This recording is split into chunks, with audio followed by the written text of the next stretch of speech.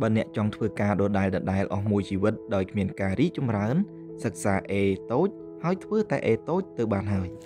បើអ្នកចង់ធ្វើឲ្យបានល្អប្រសើរជាងនេះនោះអ្នកត្រូវធ្វើ A ធំបើសិនអ្នកចង់ធ្វើជាអ្នកគ្រប់គ្រងអ្នកត្រូវធ្វើ ABC បើអ្នកចង់ដឹកនាំអ្នកដទៃអ្នកត្រូវធ្វើពី A ដល់ Z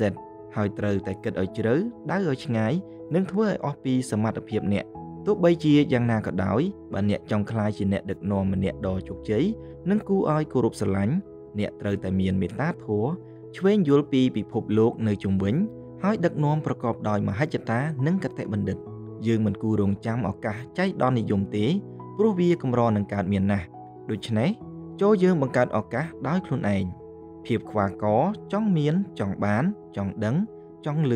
ចង់ចេះនិងចង់យល់ នឹងធ្វើឲ្យយើងលូតលាស់និងជោគជ័យឆាប់បំផុត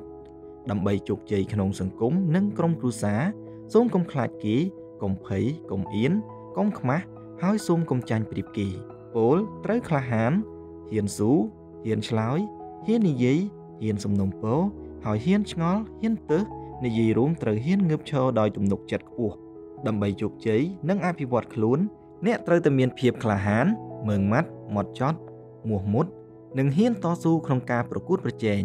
សូមកុំបោះបង់ចោលជាដាច់ខាត អ្នកដែលទទូចព្យាយាមតស៊ូគឺកម្របរាជ័យឬត្រូវគេបដិសេធខ្លាំងណាស់ការយល់ដឹងភាពឆ្លៀសវៃរហ័សរហួននិងការដឹងព័ត៌មាននៅជុំវិញខ្លួនបានច្រើន